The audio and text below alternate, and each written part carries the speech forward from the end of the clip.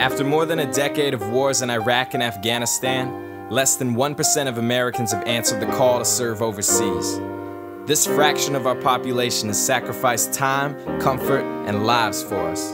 Almost all who serve have a new battle coming home staggering rates of unemployment, homelessness, mental illness.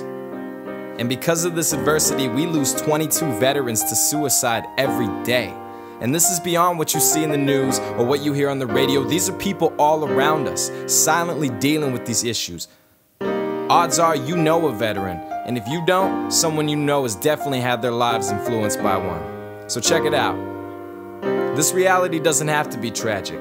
These people have built nations and they've restored communities. They put their lives on the line to fight for justice and to free people from oppression. Their actions alone show that veterans are a valuable resource to our nation back home. Now, I've never served in the military, but my brother from another, Chris, served three combat deployments across Iraq and Afghanistan. He's lived these experiences, and since his return, he's dedicated himself to connecting his returning brothers with their community at home. His project is called Growing Veterans, and with your help, we can turn this adversity into strength.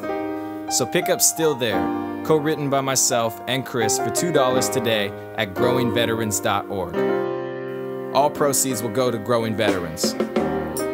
Find out more at weaver.fm.